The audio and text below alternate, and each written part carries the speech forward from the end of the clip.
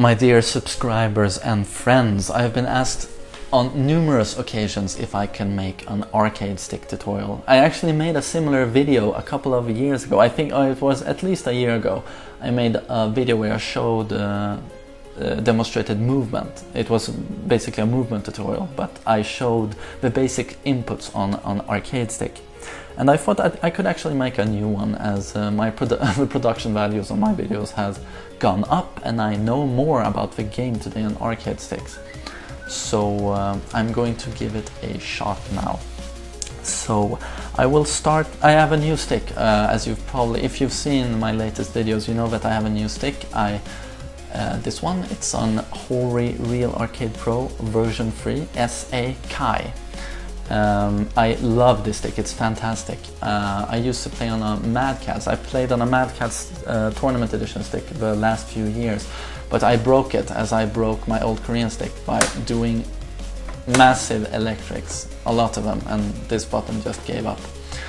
Uh, of course you can switch the buttons and stuff, but it was time to get a new stick anyway. And now I went back to Hori and I couldn't be happier. This is an amazing stick. And I guess I think probably that this is an 8 gate stick, I think it's called, and uh, an octagon. And um, the old uh, Mad Catz was a 4 gate. Um, I just immediately noticed that this stick was much more fluent when it comes to regis registering uh, inputs.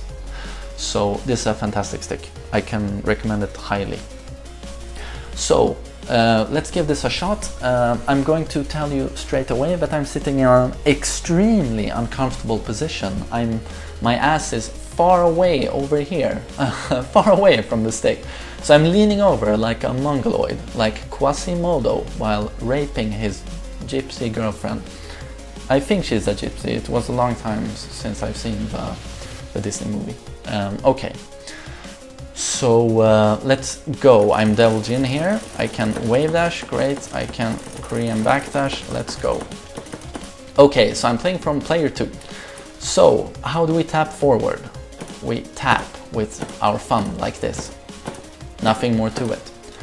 If we want to duck, uh, crouch, uh, crouch uh, guard, we hold down back with all of these fingers here. Not the thumb, but these fingers. You hook, hook down um, down, you, I tap with uh, these two fingers here. While this one is uh, grounded here, as you see, holding up the hand. And then we have uh, down forward, we hook again with everything, like this, all the fingers, hold. Uh, back, uh, I hit like this. Yeah, I'm sorry for not taking them in exact order, but whatever uh, back, you just hit with your whole hand. And this is a big contrast uh, compared to forward, you know, as we did with only the thumb. And then you have a whole hand uh, for player one going like this. One of the reasons why it's much harder to play on player one, you've probably heard this, it's common knowledge that playing, playing on player one on a stick that way, oh fuck, that way, is harder than playing on player two. It's, it's, it's a more natural motion where you get to use both your thumb and all of these fingers. Whereas on player one, you're doing most of the work with your wrist. So uh, we have up forward, which I I use my thumb and all of your fingers like this. I pretty much grab the stick and pull it like this. Up, tap with the thumb. And up back, I once again grab the stick and pull it with all of the fingers like this. Like that. You do the duck. Quack, quack. Quack, quack, quack, quack. Oh, he's sucking the stick. It's a queer duck.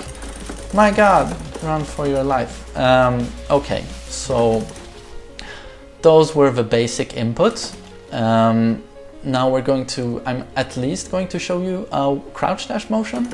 So here on player two, as I showed you before, you tap like this, tap with the thumb, and then you use all these fingers and you pull down and then slide it into uh, down forward.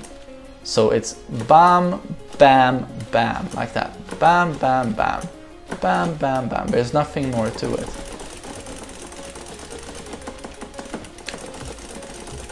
Quickly it looks like this.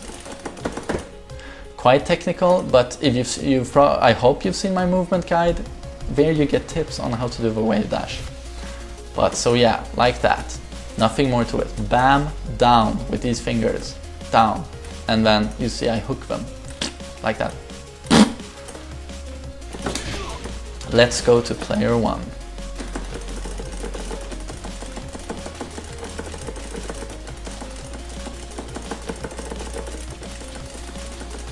Yeah, doing good. Okay, so player one. As I showed you before, tap with the whole hand like this. Bam, bam. And then this is the big difference, the, uh, as I talked about before. You know, on player two, uh, as you saw the crouch dash just now, you actually have a coordination, a coordinated, um, yeah, pretty much a, a teamwork um, effort. You know, you have a thumb doing one part of emotion and the second part of emotion uh, with the rest of the fingers. This is extremely natural and helps a lot. Whereas on player one, you, you won't be using your thumb. Every part of this motion has to be done with your, your hand and a lot of it will be done with the wrist. As you see on um, when do wave dashing on player 2, your hand is basically very, very still. Everything is done with the fingers.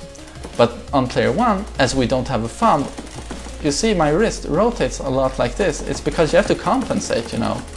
Every part of a motion is done with uh, the, the whole hand.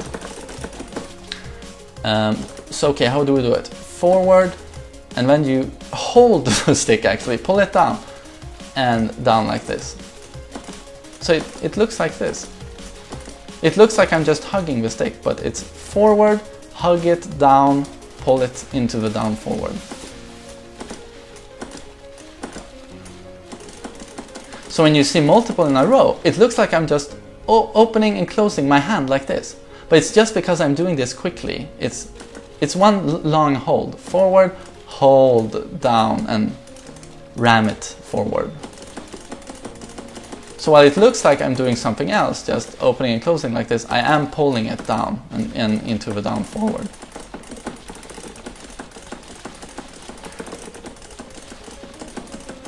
You'll have to excuse me, I'm sitting in a very crappy position, it's really hard to wave dash.